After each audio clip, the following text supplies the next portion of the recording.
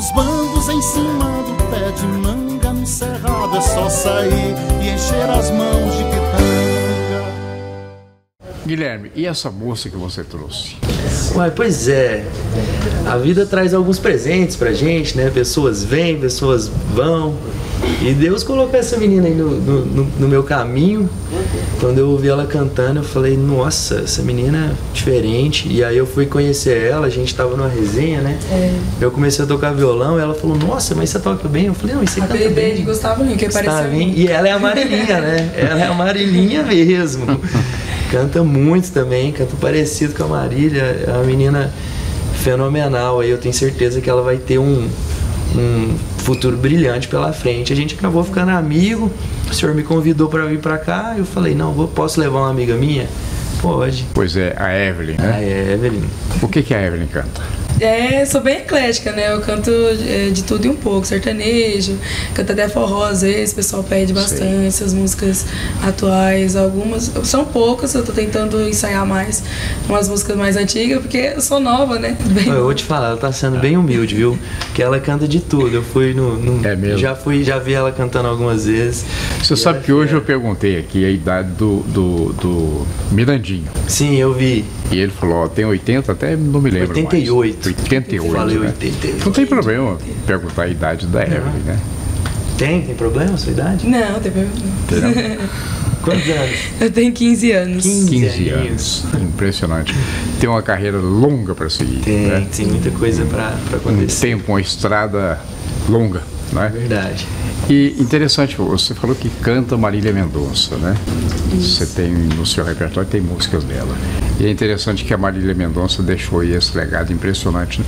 Olha, nos últimos programas, quatro, talvez cinco programas, todos tem gente cantando música da Marília Mendonça, né? É até uma maneira de, de não esquecê-la, né?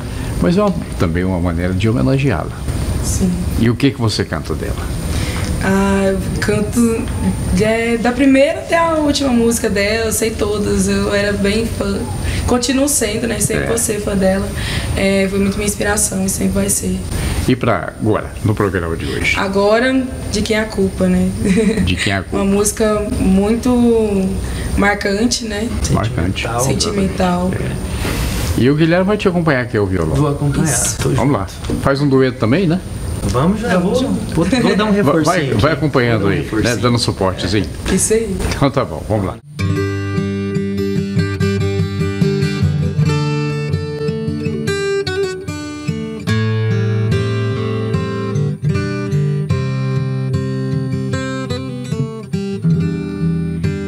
Exagerado, sim. Sou mais você que eu. Sobrevivo de olhares e alguns abraços que me deu. E o que vai ser de mim? E o meu assunto que não muda. Minha cabeça não ajuda.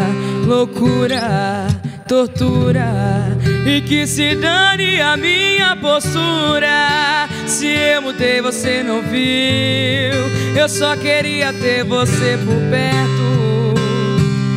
Mas você sumiu. É tipo um vício que não tem mais cura. E agora de quem é a culpa? A culpa é sua por ter esse sorriso. Ou a culpa é minha por me apaixonar por ele. Só isso. Não finja que eu não Eu tô parado no meio da rua. Eu tô entrando no meio dos carros. Sem você a vida não continua. Não finja que eu não tô falando com você. Ninguém entende o que eu tô passando. Quem é você que eu não conheço mais? Me apaixonei pelo que eu inventei de você.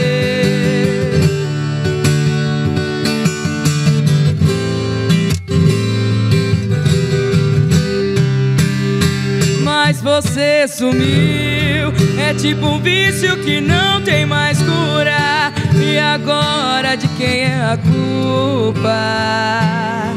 A culpa é sua por ter esse sorriso.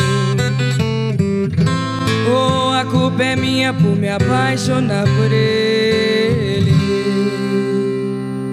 Só isso. Não finja que eu não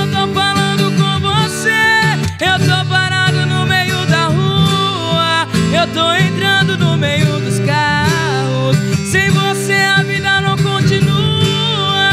Não finja que eu não tô falando com você. Ninguém entende o que eu tô passando. Quem é você que eu não conheço mais? Me apaixonei pelo que eu inventei de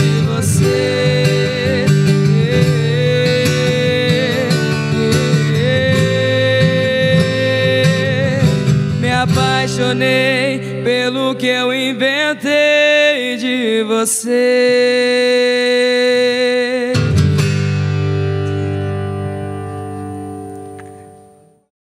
Na zona rural e ainda até nas pequenas cidades do interior, tem um costume de, no tempo de vagalume, depois ali das primeiras chuvas, né? As crianças saem correndo atrás dos vagalumes. Por quê? É um insetozinho encantado, né? Pelos seus olhos, né? As duas luzes ali, né? O, parece faróis de um carro, né? É interessante, uns botam no vidro para chamar os outros e tem um, um, uma parlendazinha, né?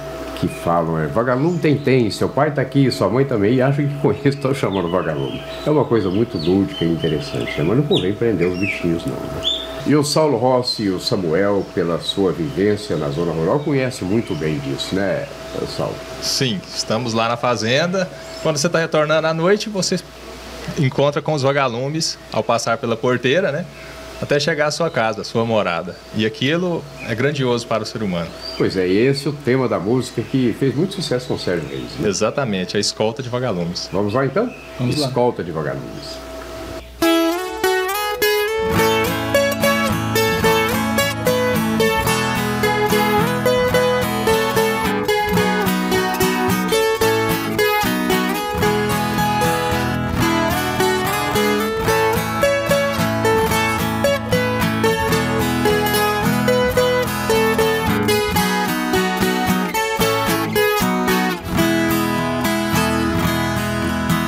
Voltando da minha terra eu renasci. Os anos que fiquei distante acho que morri. Morri de saudade dos pais, irmãos e companheiros. Ao cair na tarde num velho terreiro, a gente cantava as mais lindas canções. Viola afinada e na voz um dueto perfeito. Longe eu não cantava, doía meu peito. Na cidade grande só tive ilusões. Mas voltei, mas voltei, eu voltei. E ao passar na porteira, mato perfume, eu fui escoltado pelos vagalumes, pois era uma linda noite de luar. Mas chorei, mas chorei, eu chorei. Ao ver meus pais e meus irmãos vindo ao meu encontro, a felicidade misturou meu pranto o vale da noite desse meu lugar.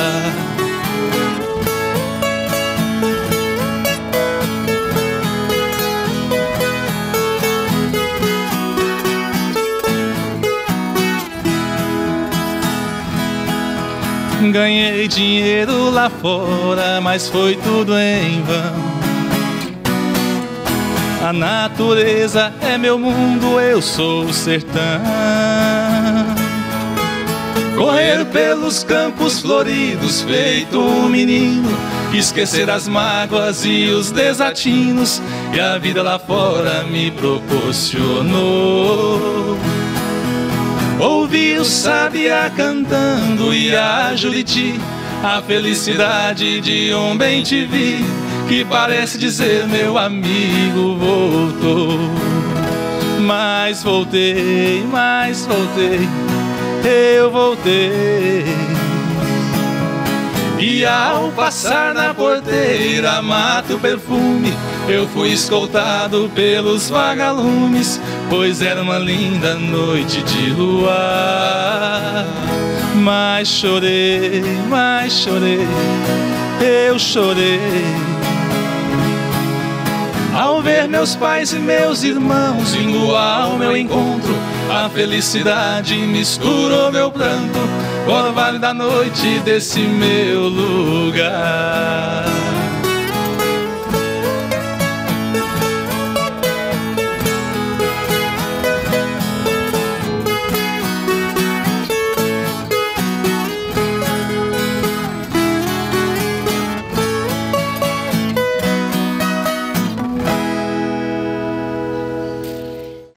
Avifauna brasileira já registrou mais de 1.800 espécies que estão identificadas e catalogadas, mas tem muitos exemplares que ainda não foram descobertos.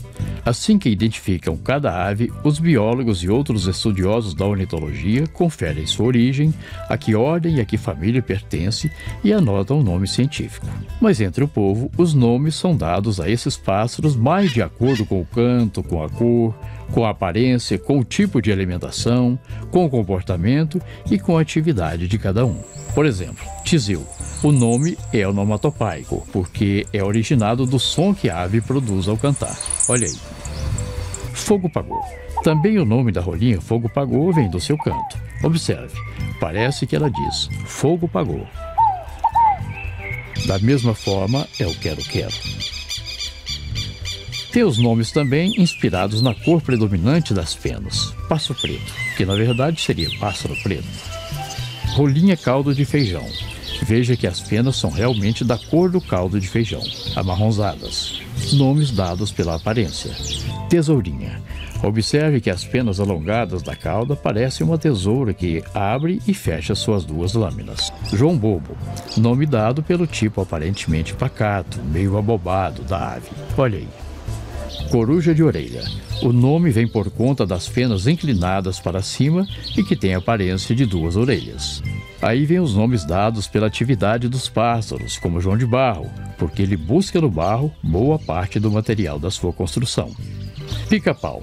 Também por conta da sua busca de alimentos, picando principalmente paus secos, de onde retira formigas e outros insetos. Dá-se o nome de papa-capim a vários passeriformes que se alimentam da semente do capim, como os coleirinhos.